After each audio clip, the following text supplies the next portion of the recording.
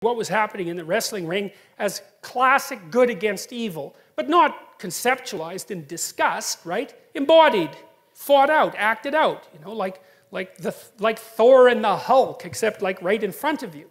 And so, well, that's exactly this sort of thing. I mean, we could consider hockey more sophisticated than wrestling, perhaps. And, and, and as, as, I said, I'm not being a critic of these. I, I'm not being critically minded about these things. I understand their purpose, and I would highly recommend that documentary. It's a brilliant documentary.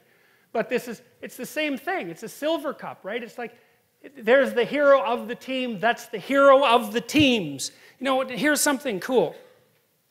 If you're the fan of the Toronto Blue Jays, or the Toronto Maple Leafs, of course, this hardly ever happens to you if you're the fan of the Toronto Maple Leafs, because they always lose. But, but, but if you're watching a game and your team wins and we take your testosterone levels, then they went up.